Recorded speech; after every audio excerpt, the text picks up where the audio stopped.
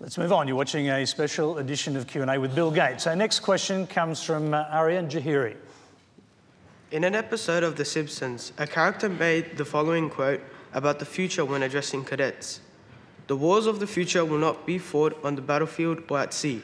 They will be fought in space or possibly on top of a very tall mountain. In either case, most of the actual fighting will be done by small robots. And as you go forth today, remember always your duty is clear to build and maintain those robots. While, while such a quote is supposed to be satirical, do you think one day robots doing human tasks such as fighting wars will become reality? Well, we already have uh, the equivalent of, of, robots doing a lot of things. If you look at how farming was done historically and how it's done today, you know, those are mechanical devices that are, are helping us out, out a lot. If you look at what a telephone operator used to do or what a, a typist used to do, uh, we are proceeding to replace all sorts of rote labor with robots. And this is a progression that uh, with vision, with speech recognition, with greater mobility, uh, will span to a lot of, a lot of new areas. Uh, and including, most... including warfare, which I think is the, the point that uh, that young man just made. And indeed, we have drones already, these uh, robots flying over uh, different countries, uh, assassinating people.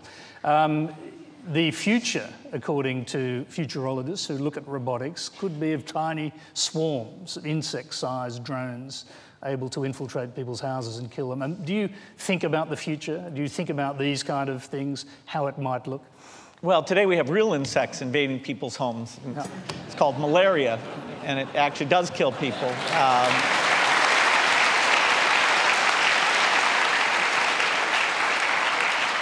so I, I, have a strange obsession with the present. Um, I don't see robots as something that will lead to more war. Um, you know, we have to be careful to avoid war. In general, the trend uh, has been quite phenomenal in that regard. Uh, violence in general, uh, particularly of that type, less, less genocide. Um, you know, there's an unbelievable book about this by, by uh, Steven Pinker that really talks about the trend and how positive it's been. Uh, but robots are a good thing. Let's just use them for something other than war. Uh, next question is related to that. It comes from Jessica Lee. Do you ever think that artificial intelligence will ever surpass the human mind? And if so, how would humanity handle it? Well, it'd be very humbling. Uh, you know, in certain respects, computers are far faster than we are today. Uh, you know, multiplying, uh, perfect memory, uh, and it's this wonderful auxiliary tool that lets us communicate and create the ability to simulate things. Uh, you know, try out a new car design and see how that's going to work, or a new nuclear reactor, uh, look at how you would design drugs.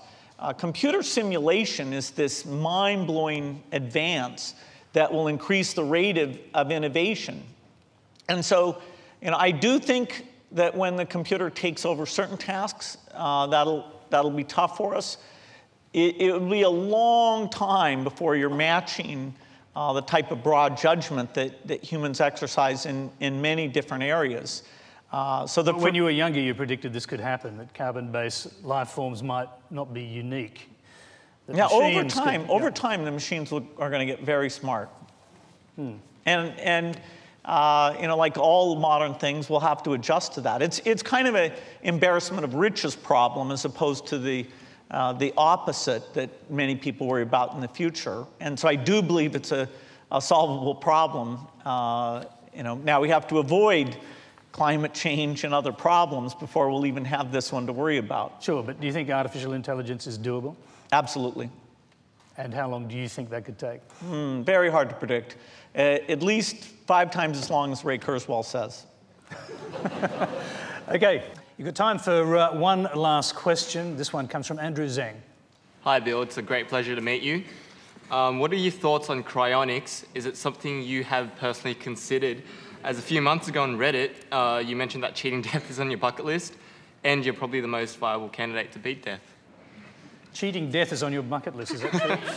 no, I, would like to live a long time, uh, but I won't have myself cryogenically uh, preserved or cloned or anything of the kind. Uh, you know, life is a great thing, but uh, you know, you got to make room for the, the people who, who come after you. So I won't try and, won't try and cheat death, just pro, uh, delay it as long as possible. Well, thank you very much for this hour of your life. That is all we have time for. Please thank our guest, Bill Gates.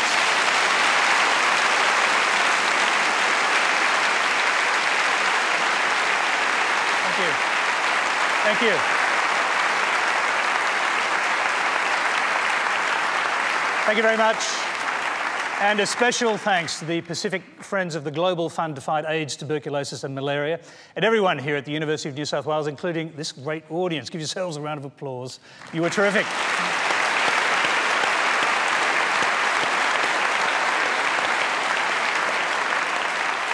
Please join us next Monday for another Q&A in our regular 9.30 time slot. Until then, good night.